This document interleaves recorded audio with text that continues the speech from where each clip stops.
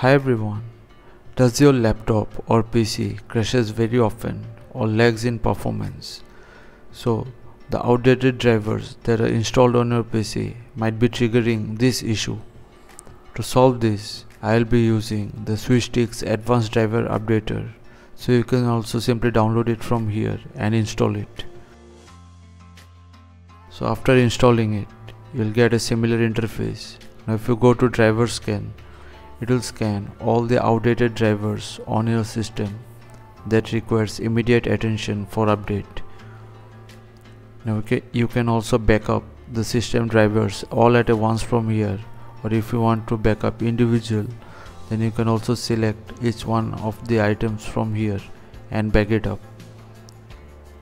You can also use the restore function if there are some driver issues. Now if you go to settings, you can set this as per your preferences. You can schedule scans for regular checking of driver updates. Now if you click on start on scan now, it will scan for all the drivers that requires update. Now as you can see, it has found 19 drivers on my PC. Now to update all the drivers, I have to register the software first. So let me register it. So after registering it, simply click on update all and it will download and install all the required drivers that are required for smooth functioning of your PC.